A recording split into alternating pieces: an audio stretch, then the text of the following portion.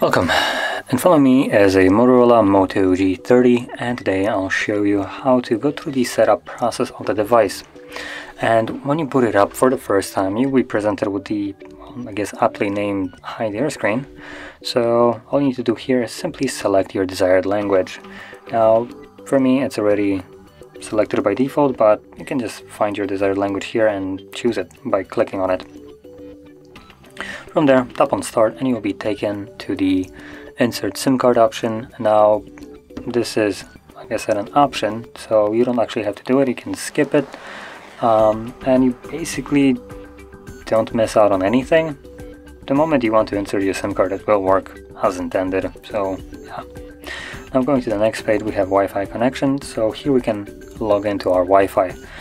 And again, just as before, we can skip it if, for instance, you might not have a network connection, which well, could be a possibility. Then don't worry, you can just simply skip it, and that's about it. But by skipping it, you will lose the option to log into your Google account throughout the setup, and also um, you will most likely have to set up a date and time uh, manually. So yeah, now I'm gonna skip it anyway because I don't really care about logging into Google. And from here we have Google services, so we have things like location scanning and sending user and diagnostic data. Uh, now, I'm not really gonna go into it. Uh, most of them are just data gathering trash. If you don't want it, you can disable it. If you are really interested in uh, what this is, you can click on the arrow, expand the list, and basically read what it exactly does. Uh, give or take probably some key, uh, well, key actual specifics on what it exactly does because it's Google, but yeah, you will get the gist of it. So let's tap on accept.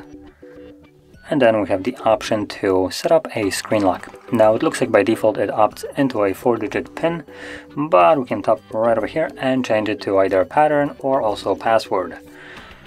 I'm gonna go with the pattern. Now, if you don't want any of those, you can simply tap on skip if you wanted to, but I do want to set up a protection, so let's draw that one. Redraw the same pattern and confirm it and voila we have now protection on our device. Now it looks like automatically it goes into a fingerprint. Next um, but because I don't really want to fiddle with the fingerprint sensor on the back I'm just gonna skip it and here we have privacy and software update. Obviously we do need to accept. Then we have Motorola. Uh, let's stay in touch. Let's not.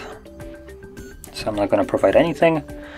And uh, we're basically done with the setup. It just gives us a guide on how to use the gesture navigation. So get started. Gives you swipe up to go home uh, swipe up and hold to go to recent and then go back by swiping from the sides. Cool um, if any of you use the phone in the last two years you probably are aware on how gesture navigation works so let's swipe up and voila we're finished with the setup so if you found this very helpful, don't forget to hit like, subscribe, and thanks for watching.